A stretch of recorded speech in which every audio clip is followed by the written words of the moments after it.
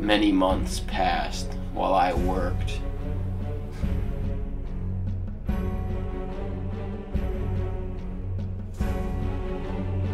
I studied, obsessing with my work.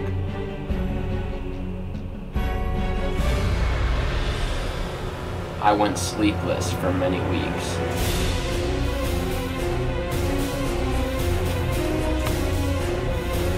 And I made my final preparation.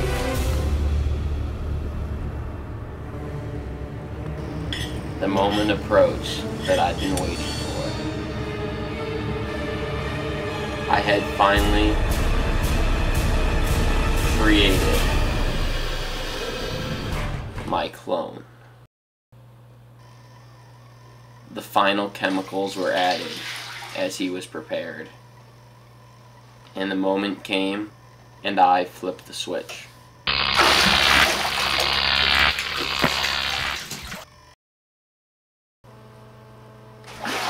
He was real, and I hadn't planned anything in advance of what to do with this creature, so I just closed him in the shower for the time being. He quickly learned how to get out and instinctively covered his body. Without any better plan, I locked him up in my laboratory and just tied him down.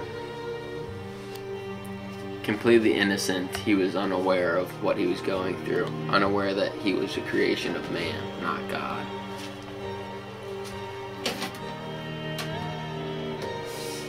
He became naturally curious of his surroundings, quickly exploring and learning about everything around him.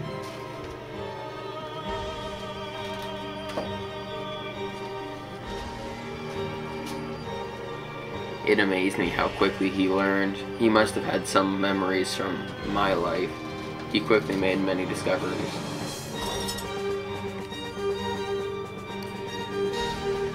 After one day of existence, he instinctually slept, covering himself for warmth as he slept on the cold floor where I left him. Upon waking on his second day, lingering memories taught him how to use a computer, and fate gave him my old Bible.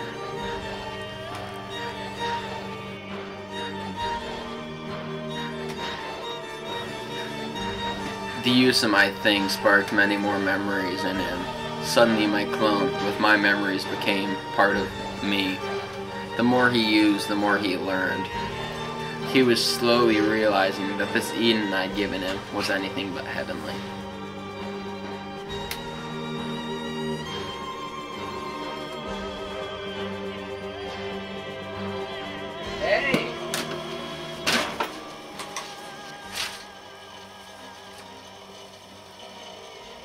See, you got my laptop.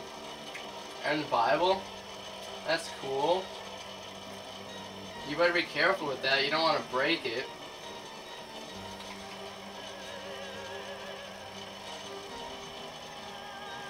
Alright, here. You can eat this. I'll be back in a couple weeks to check on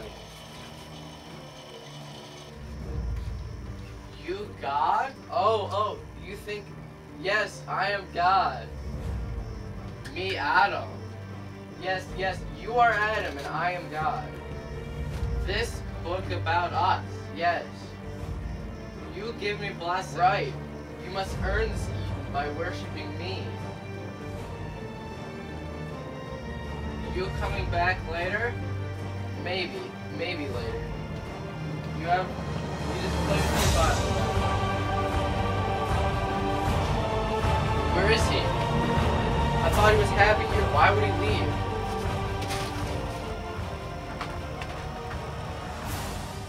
My miserable existence began in pain.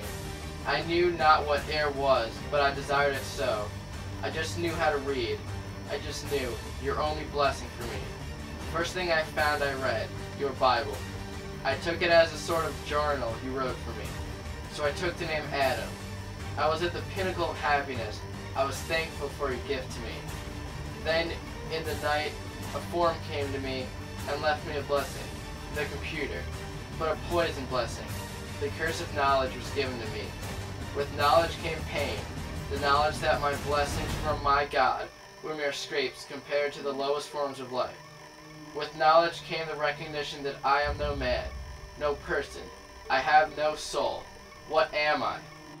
You are a clone, a copy of man, a reflection of me. So I only have a reflection of a soul? So I am only the image of a man? Because you are nothing more than an image of God. This is no Eden, and you have given me no Eve. My inadequacy as a human is a reflection of your inadequacy as a God.